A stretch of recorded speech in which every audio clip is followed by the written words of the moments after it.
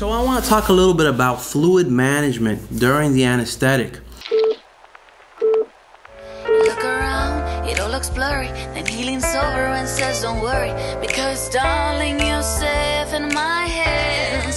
Behind the with Frankie.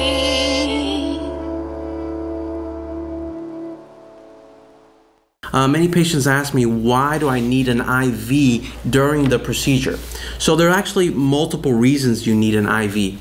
Uh, one of the reasons is for me to be able to administer medications, uh, not only the medications that are used to induce you under anesthesia, but also for pain, for nausea, medications that I give towards the end of the procedure. But also for fluid management. One of the questions I ask patients in pre-op is when is the last time they had anything to eat or drink?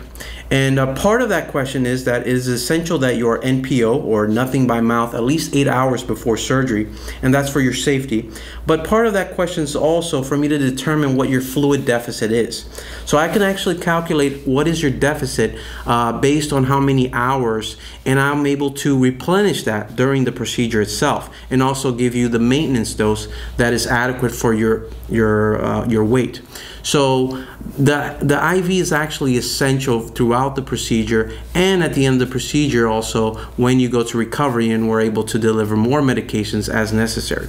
So I hope this helps to understand why you need an IV and that it is essential for both medications to be administered and also for your fluid management in order to hydrate you will actually will which will actually help you in your recovery process. Well, thanks for watching and I'll see you next time.